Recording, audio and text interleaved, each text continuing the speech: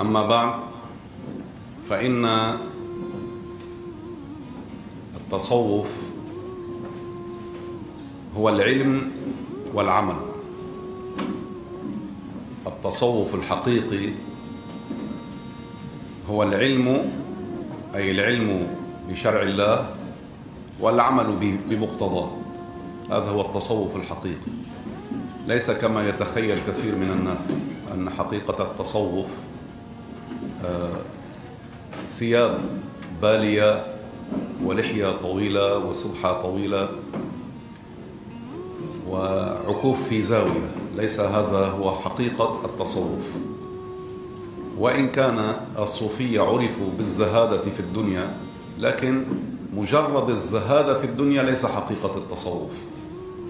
إنما حقيقة التصوف هو العلم بشرع الله والعمل بمقتضى ذلك. مع الزهادة في الدنيا. قد يزهد في الدنيا يعني يكون مظهر مظهر الزهاد من ليس مؤمنا. هذا ليس صوفيا حقيقيا. وقد يكون مظهره مظهر الزهاد من اتخذ الزهادة أو صورة الزهادة عدة للاحتيال على الناس حتى ينال ما في جيوب الناس بطريق الاحتيال عليهم. مثل ما بيقولوا عدة الشغل أحيانا المحتال بيكون عدة شغله سيجار وسيارة فخمة وأحيانا بيكون عد عدة المحتال إظهار المسكنة والزهادة وكليهما يريد أن يحتال على الناس ليأخذ أموالهم بالباطل. فإذا التصوف الحقيقي هو العلم بشرع الله مع العمل بمقتضى ذلك مع الالتزام بشرع الله تعالى. وطرق أهل الله يعني أحباب الله الأولياء نحو أربعين طريقة. الأصل في هذه الطرق والأصل في التصوف هو الإيمان. الأصل الأول هو الإيمان. فالصوفي وصاحب الطريقة أو متبع الطريقة الأصل الأهم والأساس هو أن يكون مؤمنا. بدون إيمان كل ما يفعله ليس مقبولا عند الله. الإيمان يعني الإيمان بالله والإيمان برسوله صلى الله عليه وسلم.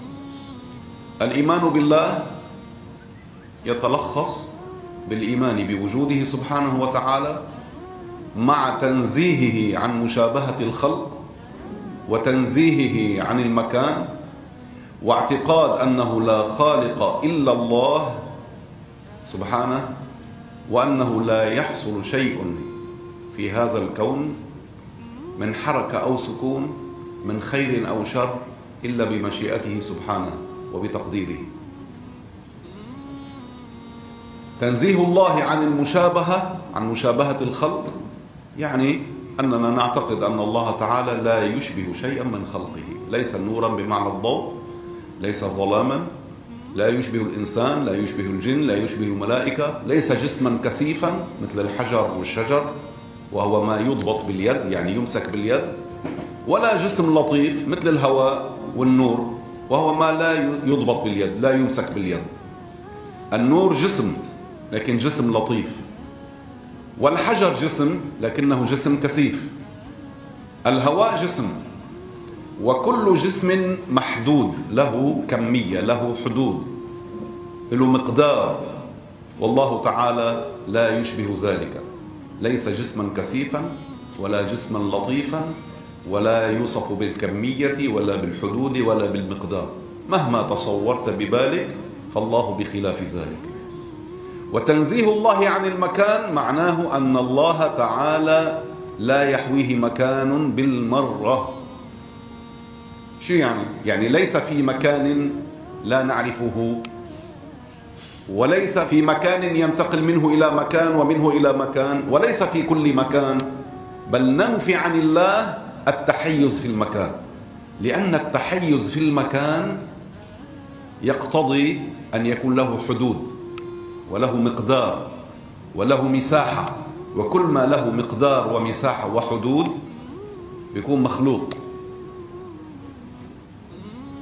بعض الناس طويل وبعضهم قصير بعضهم أطول من بعض بعضهم أعرض من بعض. هذا الطول والعرض والمساحة هذا من علامات ومن صفات المخلوقات. من علامات الحدوث ومن صفات المخلوقات. والله منزه عن ذلك. كل هذا مفهوم من قوله سبحانه وتعالى ليس كمثله شيء. معنى ليس كمثله شيء يعني الله تعالى لا يشبه شيئا من خلقه ولا يشبهه شيء من خلقه ولا بأي وجه من الوجوه. لذلك قال الإمام زنون المصري مهما تصورت ببالك شو؟ الله بخلاف ذلك.